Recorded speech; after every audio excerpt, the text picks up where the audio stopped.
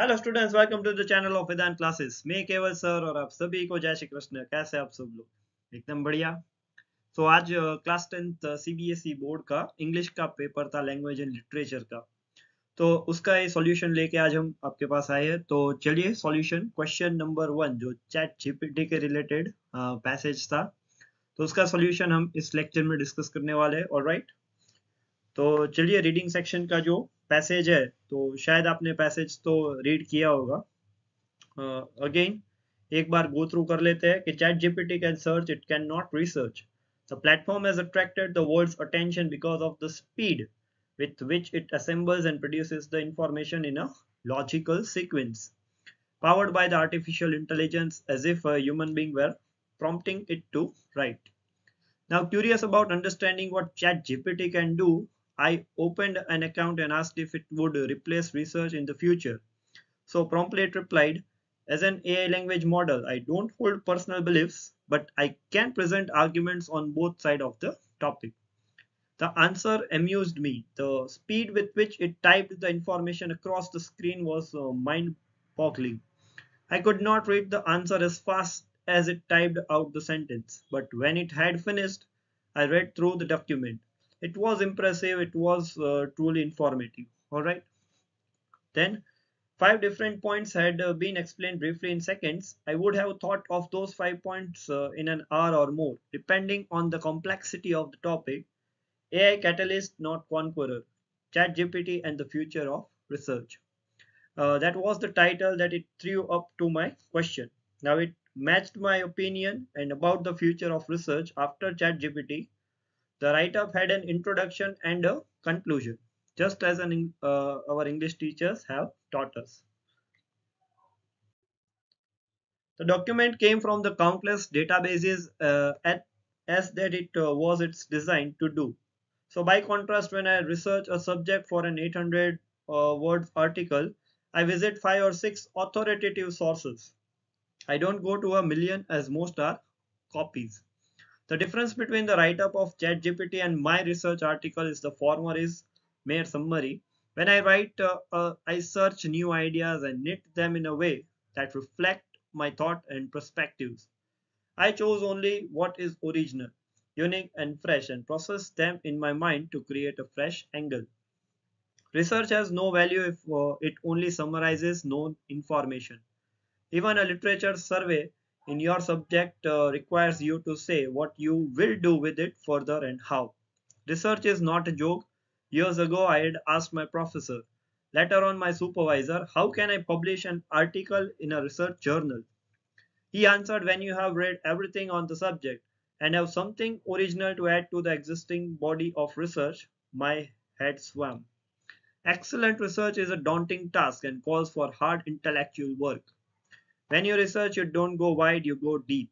You thoroughly investigate a minor concept, researching it extensively, substantiating uh, each come with reliable sources, experiments, models, and beyond. It took years to discover the atom and the theory of gravitation.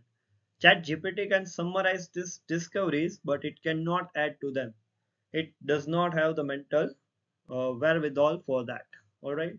तो chat GPT के लिए बहुत ही बढ़िया सा passage दिया था, जिसमें research के बारे में बोला गया है ओके तो चैट जीपीटी है, वो सर्च कर सकता है रिसर्च नहीं कर सकता ऑलराइट तो उसके लिए हमें खुद से ही सोच के इंटेलेक्चुअल एबिलिटी से कोई भी न्यू इन्वेंशन है रिसर्च है, वो करनी चाहिए चलिए तो क्वेश्चंस देखते हैं Which of the following statement best summarizes the author's view about ChatGPT? It can summarize discoveries.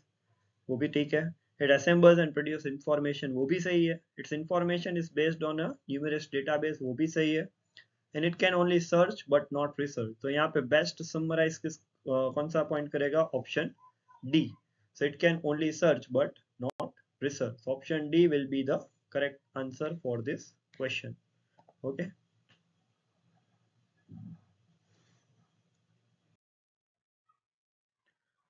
Okay, so what did the professor suggest to the author's question of how he could publish his research journal? So last में passage में आया So according to the answer that you should write in a 40 words, you can write that professor advised the author that uh, to publish the research, one must read everything on the subject, contribute something original to the existing body of knowledge and that highlights that research is about adding new insights rather than just summarizing the information. कुछ नया लेके जाना है original content produce करना है। तो ऐसे कुछ कीवर्ड्स के साथ अगर आपने आंसर लिखा है तो वो आंसर आपका सही होगा। The next question the complete the analogy dependable यानी रिलायबल तो रैशनल यानी लॉजिकल जो पैसेज के स्टार्टिंग uh, में ही था फ़र्स्ट पैसेज uh, में वो वर्ड था लॉजिकल इट मींस रैशनल होता है। ऑलराइट क्वेश्चन फोर देखते हैं।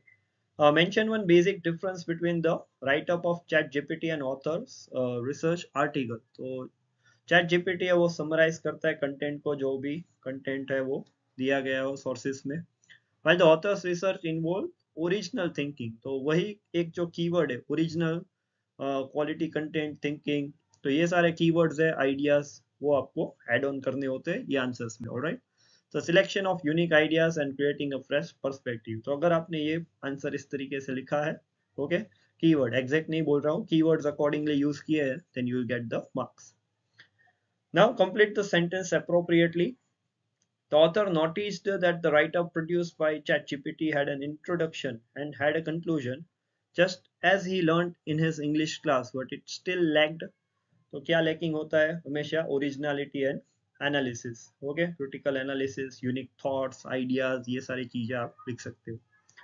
फिर एमसीक्यू था the author was moved by the blank it's which chat GPT was producing the articles तो वो जिस स्पीड से काम कर रहा था that was amazing thing for the author now state whether the given statement is true और false so research is not beneficial if it only summarises the known information तो स्टेटमेंट सही है alright now what the answer of chat GPT from the given uh, passage when it asked whether it would replace the research uh, in the future. तो chat GPT ने answer दिया था कि वो argument दे सकता है दोनों साइड के पॉइंट्स तो ये कोटेशन में दिया है पैसेज के अंदर। वही चीज़ आपको यहाँ पे लिखनी थी तो आई होप कि you all get the full marks in this beautiful passage which was given in today's board exam so later on next question हम नेक्स्ट लेक्चर में डिस्कस करेंगे। सो so, अभी पढ़ाई करते रहो आगे बढ़ते रहो। All the best